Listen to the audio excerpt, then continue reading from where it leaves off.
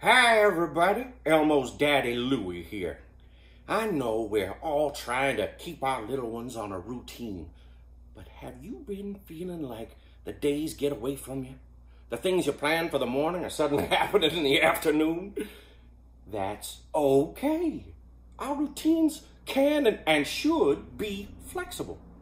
It's okay if we don't get to do something in the morning. If we get to do it in the afternoon, great, or even the next day. These are challenging times, and juggling childcare while working from home is difficult.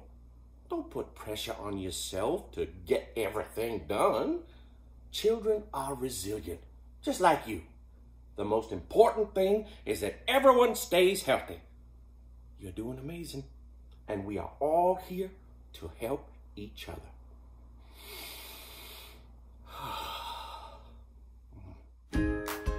Caring for each other. Visit sesamestreet.org/caring for videos, activities, and tips for the whole family.